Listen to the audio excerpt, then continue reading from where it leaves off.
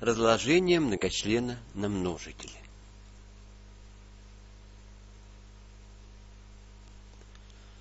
Разложение многочлена на множители – это представление многочлена в виде произведения двух или нескольких многочленов. Давайте посмотрим, как это будет выглядеть. Методы разложения многочлена на множители. Существует, ну, мы сейчас выделим два метода разложения на множители. Первый – вынесение общего множителя за скобки и способ группировки. Рассмотрим на примерах. Пример. 20х в кубе y плюс 4х в квадрате y. Это у нас многочлен. Давайте попробуем его разложить на множители способом вынесения за скобки. То есть вынести за скобки нужно то, что присутствует и в одном, и в другом одночлении. То есть, например, 4 здесь есть, и здесь такой сомножитель 4, 24 на 5. Y, то есть наименьшее наиме, э, число или э, обозначение буквенной степени наименьшей, да, мы его можем вынести за скобки. Это первая степень, это вторая степень. Значит, мы y можем вынести за скобки. Дальше показатель степени 3, здесь показатель степени 2. Наименьший берем и выносим за скобки. То есть мы можем вынести 4 x квадрат y. Это мы можем вынести за скобки. И тогда у нас останется, здесь у нас останется 1, а здесь у нас остане, э, останется 5 умноженное на x, y. Давайте. Вот у нас с вами получилось. Вот эта запись и будет являться результатом разложения на множители. Это у многочлена. То есть вот это мы вынесли за скобки, эту величину. И далее умножить, уже нет сложения, а умножить на скобочку, а в скобочке другой многочлен. То есть это и есть результат разложения многочлена на множители. Давайте здесь посмотрим. Здесь мы могли вынести а плюс 5. Не обязательно, чтобы вот такая вот величина будет выноситься. Можно вынести и целый многочлен. Мы его можем вынести за скобки. То есть а плюс 5 вынесли за скобки. Скобки осталось а минус с. Вот у нас. Это сам, два сомножителя а плюс 5 и b минус с. И здесь мы то же самое мы вынесли, как и в первом случае, вынесли троечка и там, и там присутствует такой сомножитель. Б наименьший показатель единица выносим, А наименьший показатель э, квадрат выносим, и вот остается то, что остается у нас. И здесь давайте посмотрим, что мы можем. x минус 5 вынести за скобки. Что останется? остается э, x минус 5 вынесли за скобки 2y плюс x. Вот они у нас с вами. И второй способ, это способ группировки.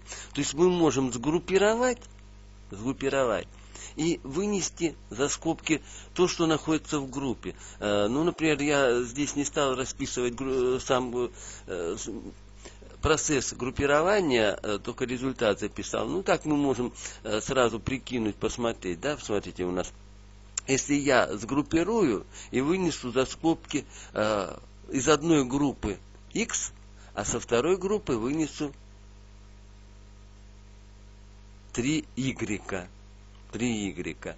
То есть, э, и у меня получится один сомножитель вот в таком виде, то, что я вынес, а здесь записывается то, что осталось. Да, было все расписать, вам было бы понятнее, да? Э, ну, вы это проделаете сами, я думаю, ничего сложного нет.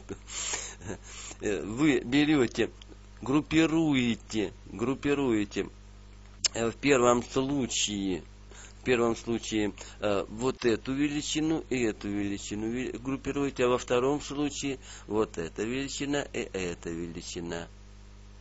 Все. Здесь вы вынесете x, у вас останется 2b. Вот группируете первый и последний. И вынесите то, что и присутствует и там, и там существует. Э, это будет x. Вы его вынесете за скобочки. останется у вас 2b плюс а. А в этом случае вы вынесете 3, y и y тут присутствует, и у вас останется после того, как вы вынесете x минус x минус 3, а вы вынесли за скобки. И вот это вот один будет сомножитель, это второй сомножитель. Во втором случае аналогично.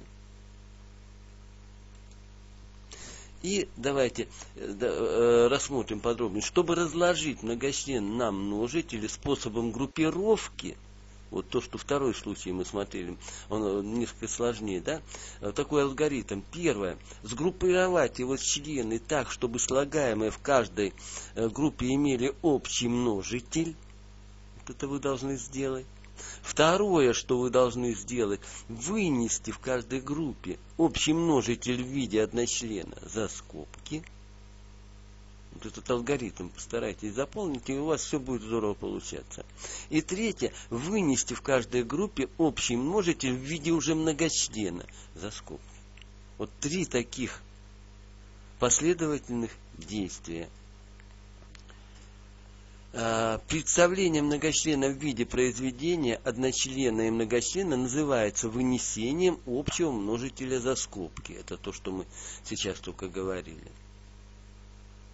Мы выносим за скобки. Это и будет э, э, представление многочлена в виде произведения вот такого одночлена и многочлена. Ну, вынесение общего множителя за скобку – за скобку. Из каждого слагаемого, входящего многочлен, выносится некоторый, э, некоторый одночлен, э, входящий в качестве множителя во все слагаемые.